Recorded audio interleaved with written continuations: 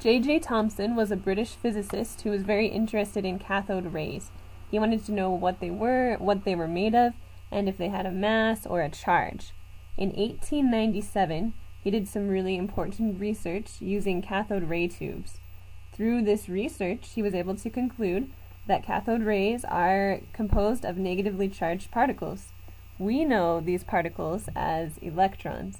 So J.J. Thomson can be credited with the discovery of the electron. A cathode ray tube is the forerunner of the television tube. It is a glass tube from which most of the air has been evacuated.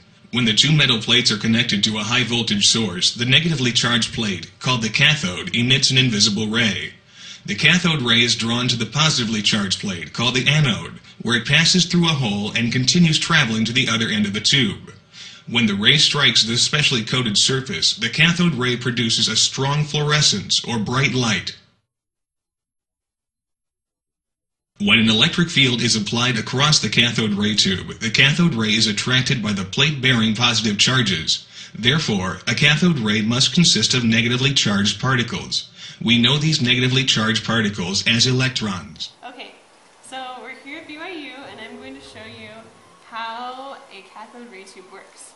So I have here a Tesla coil and I'm going to excite this metal here and it's going to emit electrons and then this is, this plate is coated with a phosphorescent material. So the electrons are going to make it emit some green light and then this thing is an anode, it's positively charged. So it's going to attract the electrons. And then we're going to see what happens if we use a magnet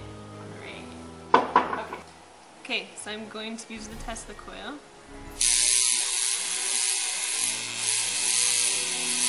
And you can see the light that's being emitted. So now let's look at what happens when we put the magnet on.